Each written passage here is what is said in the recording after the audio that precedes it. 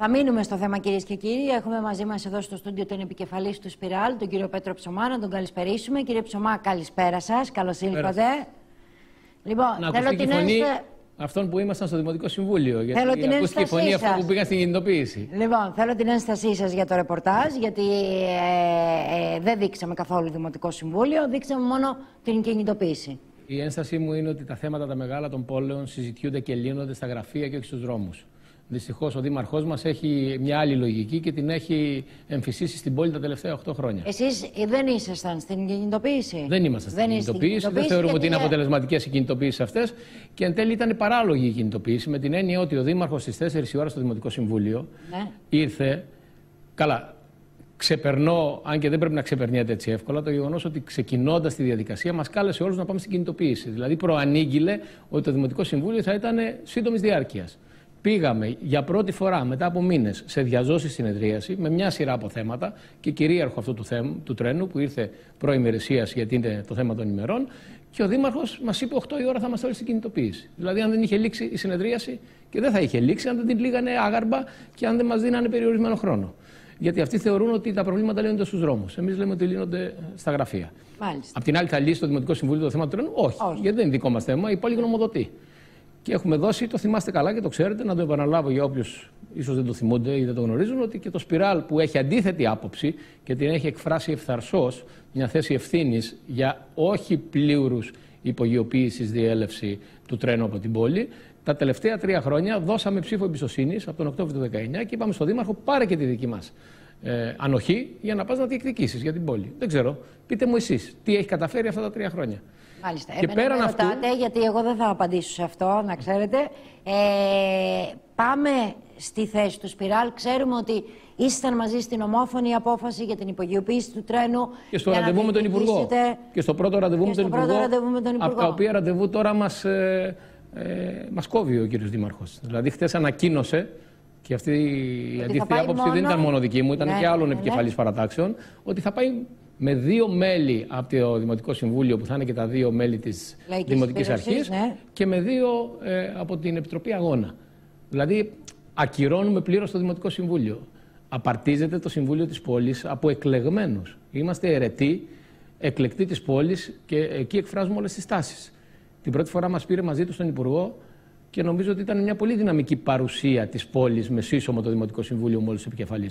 Τώρα που τα έχει κάνει θάλασσα, επιτρέψτε μου, θάλασσα, γιατί εμείς μάθαμε τι έγινε στις Βρυξέλλες. έγινε στις Βρυξέλλες, για πείτε μας, ανοίχθηκε γιατί ο εμείς δεν φάκελος ξέρουμε, ναι. που αφορά το υπογειοποιημένο κομμάτι το οποίο διεκδικεί ο Δήμαρχος.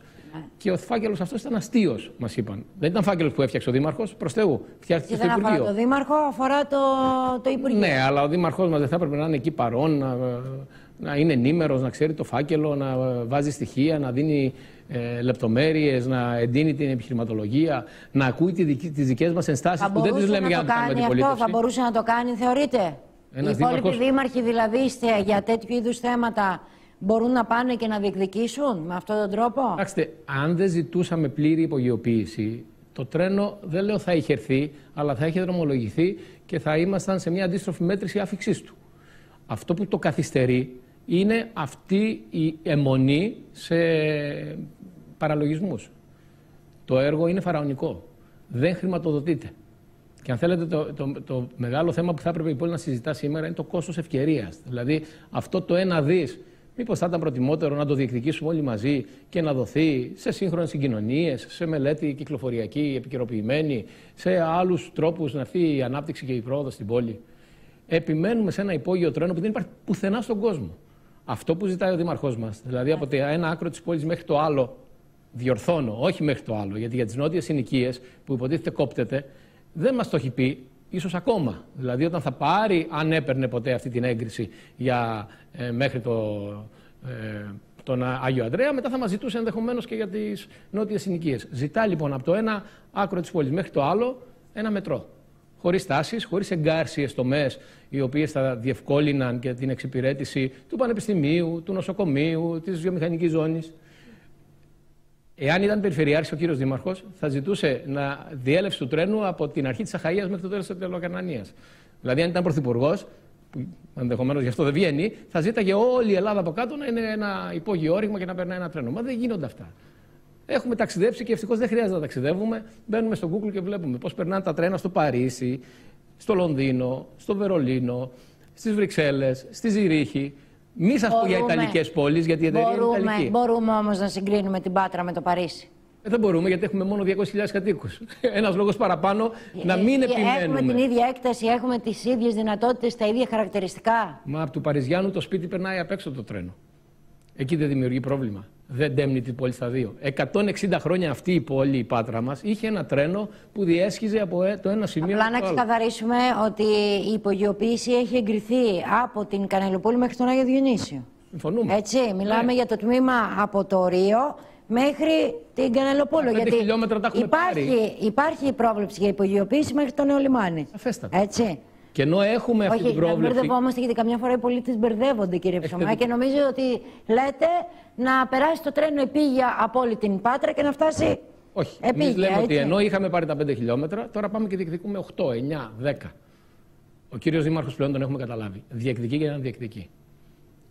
Εάν κάποιος δεν ήθελε να έρθει ποτέ το τρένο στην Πάτρα, θα έκανε αυτό που κάνει ο Δήμαρχός μας. Θα διεκδικούσε όλο και περισσότερο. Για ποιο λόγο να μην θέλει όμως να Δεν έρθει το ο ξέρω. Δήμαρχο Ρωτήστε. το τρένο στην Δεν το ξέρω, Πάτρα; ειλικρινά. Μα δεν, ε, Γιατί κάνει πολιτική, δεν κάνει, δεν κάνει δι- αυτοδιοίκηση. Δεν ασχολείται με την πόλη. Ναι, αλλά δεν θα ήταν ε, υπέρ του το να ε, έρθει το τρένο στην Πάτρα, ιδιαίτερα ε, κατά τη διάρκεια της Όχι, θητείας; γιατί του. του αρέσουν πάρα πολύ αυτά που δείξατε πριν. Του αρέσουν πάρα πολύ αυτά. Να πηγαίνει με λίγους κατοίκους ε, της περιοχής. Ήταν ελάχιστοι οι κάτοικοι, να σας πω.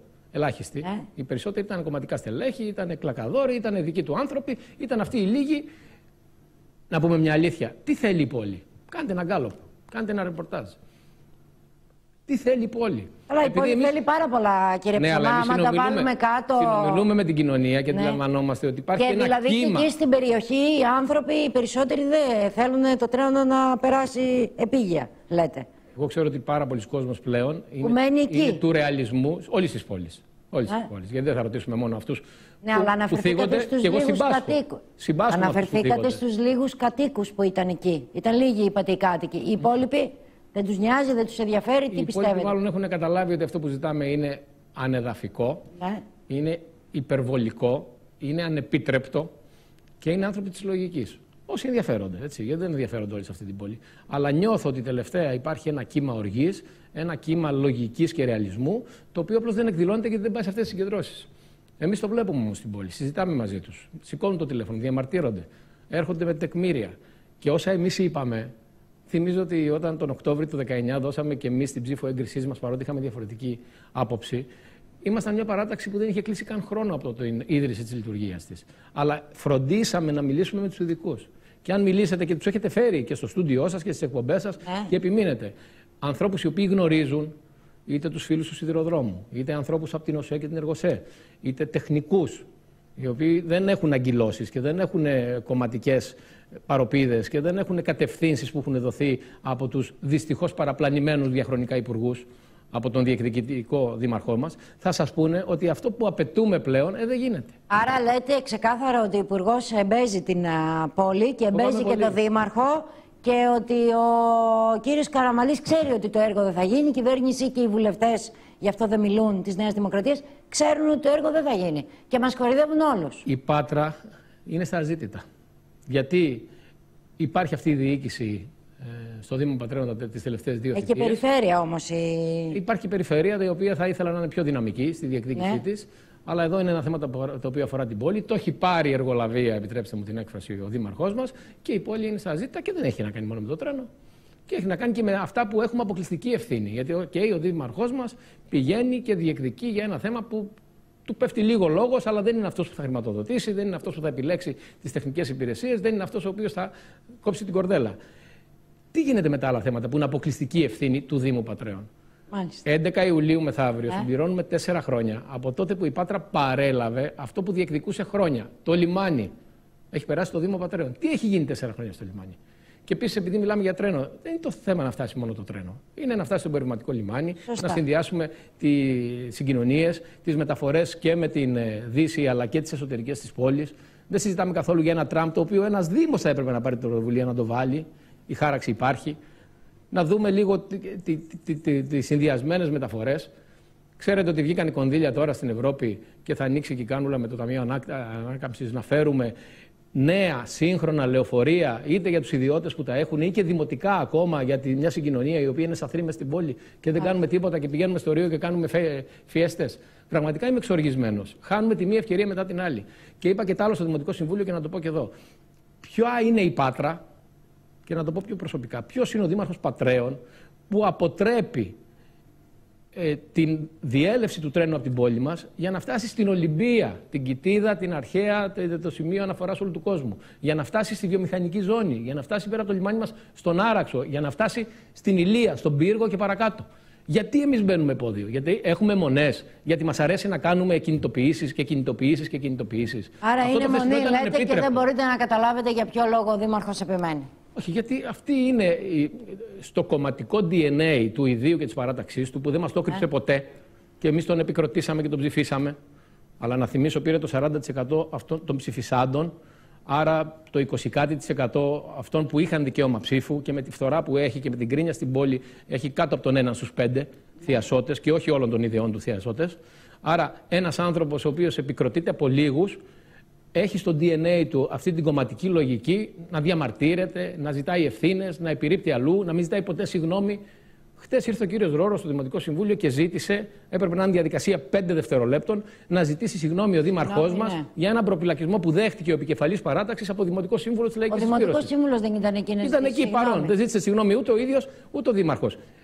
Γιατί το λέω, αυτοί οι άνθρωποι δεν ζητάνε συγγνώμη, δεν αναλαμβάνουν ευθύνη, δεν κάνουν τίποτα, δεν έχουν τίποτα να προτείνουν. Από τη στιγμή που ξεκίνησα στο Δημοτικό Συμβούλιο να, ζητάω, να, να ρωτάω απλά τον Δήμαρχο τι προτείνεται, δεν έχει κάποια απάντηση. Έχει μόνο να λέει για τους άλλους. Για την κυβέρνηση, για την περιφέρεια, για την Ευρώπη. Κύριε Ψωμά, σας ευχαριστώ πολύ. Θα έχουμε την ευκαιρία να το πούμε και το επόμενο διάστημα, γιατί τα θέματα είναι πολλά α, που απασχολούν τους πολίτες και τους ε, Είναι πάρα πολλά. Είναι αλλά, πάρα αλλά πολλά. τα τρένα Το τρένο είναι πολύ σημαντικό. Και το τα θέμα τρένα του τρένου... και δεν σταματάνε σε αυτή την πόλη. Τα τρένα τα, τα χάνουμε. Ε, είναι μεγάλο δυστύχημα ότι ναρκοθετούμε την πόλη για δεκαετίες. Χάθηκε μια ολόκληρη γενιά. Αν από το 2014 που ανέλαβε ο δήμαρχός μας ήταν πιο διαλλακτικός, και διεκδικητικός για ουσίες ναι. και όχι για, για, την ουσία και όχι για τη διεκδίκηση, θα είχαν ξεκινήσει τα έργα. Για να μην πω για τον προαστιακό που με τον τρόπο που τον διεκδικεί θα τον χάσουμε, δεν θα τον έχουμε και διευκολύνει τόσο κόσμο. Και για να μην πω ότι αν γίνει αυτό που θέλει, επί δεκαετία θα έχουμε την πόλη μια, ένα εργοτάξιο. Την πόλη που εμείς οραματιζόμαστε να την κάνουμε τουριστική αύριο το πρωί. Σας άκουγα πριν να μιλάτε με τον πρόεδρο του Κιανά. Μεγάλο θέμα και αυτό με τον τουρισμό. Μεγάλο θέμα που λύνεται. Όλα μπορούν να δρομολογηθούν. Αλλά τέρμα πλέον οι αιμονές. Κύριε Ψωμά, σας ευχαριστώ πολύ.